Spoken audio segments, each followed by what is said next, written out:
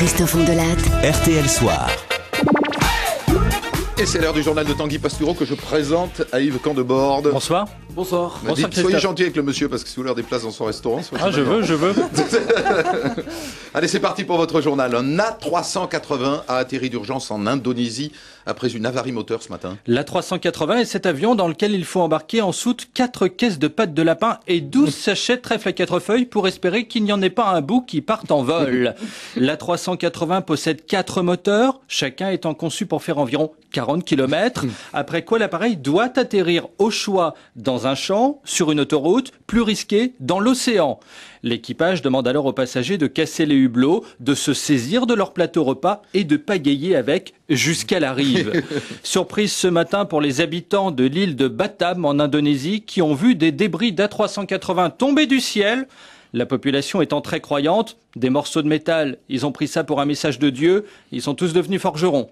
Une astuce pour les bricoleurs, pas besoin ce week-end de faire la queue chez Casto, il suffit de se placer sous un couloir aérien d'Airbus et de ramasser les boulons, les écrous, les vis.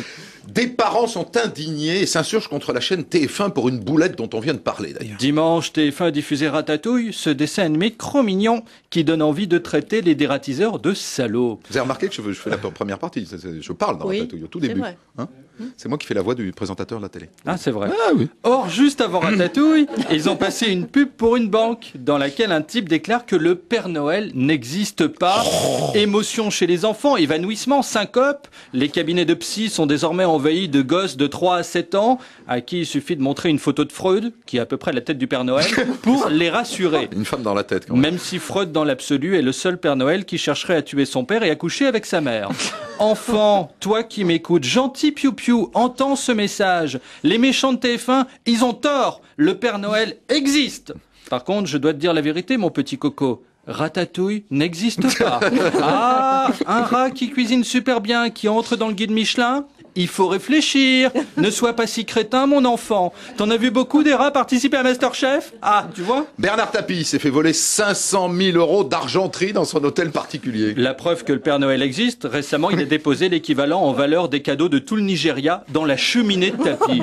Le Parisien nous raconte les faits. À minuit, Tapi rentre chez lui, ne s'aperçoit pas du cambriolage. Comprendre, il est à 2 grammes, vomit et s'endort le visage sur la cuvette des WC.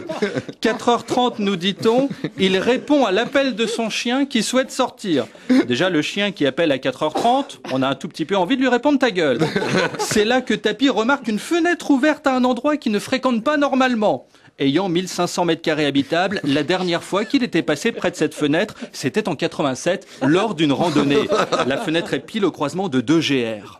Montant du butin, 500 000 euros d'argenterie. Chaque petite cuillère est à 16 000 euros. hein. Quand il s'agit de taper dans un flambier à 70 centimes, il y a comme un contraste. Maintenant, vous allez nous donner des nouvelles de Zinedine Zidane. Une information capitale, Zizou n'est plus fâché avec Materazzi, à qui il avait mis le coup de boule le plus célèbre de l'histoire.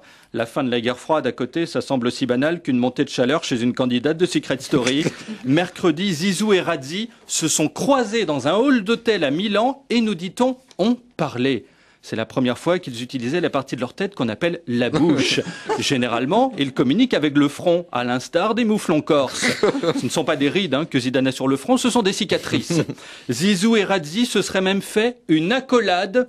Le directeur de l'hôtel les a vus, il témoigne, c'était très beau, quand ils étaient serrés l'un contre l'autre, Zizou a tordu avec ses doigts le téton de Materazzi qui en retour lui a enfoncé les siens dans l'œil. Que d'amour Enfin, vous avez lu Paris Match qui publie une photo de Johnny et Laetitia. En route pour une soirée déguisée d'Halloween à Los Angeles. Les dégâts pour leur image sont importants. Johnny, qui ne s'est pas foulé, porte un sweatshirt avec le corps d'un squelette imprimé dessus. La tronche qui fait sur la photo fait plus peur que son déguisement. Quant à Laetitia, gros souci, la pauvre n'a pas compris le concept d'Halloween. Elle est déguisée en marin. En marin à mini-jupe. Accoutrement assez rare chez les mousses, moins dans une soirée mousse, hein, je sais pas si vous en faites. À moins qu'elle ait cherché à interpréter un marin du Titanic crevé sur la banquise, elle est à côté de la plaque. Alors Laetitia, encore plus débile pour Halloween, il y avait Père Noël, parce que oui, il existe. Tanguy Bastureau. Merci Tanguy. Et Yves Candebord après la pause. RTL Soir. Avec Christophe Ondelatte.